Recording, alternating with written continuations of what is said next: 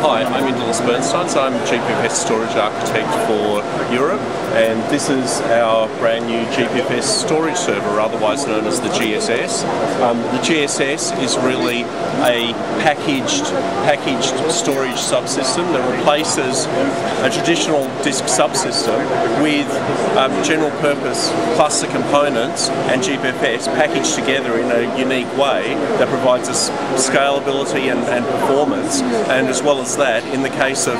the real customer benefit for this is, is as well as being a standardized set of components which allows us to integrate into other GPFS clusters, it also provides us the ability that if we have disk failures, very rapid recovery and because we're also using GPFS over these store over the storage um, storage devices, the disks, it also provides exceptionally good performance. So we get the benefit that we have great performance, a low cost because GPFS is actually doing all the work that the RAID disk subsystem used to do,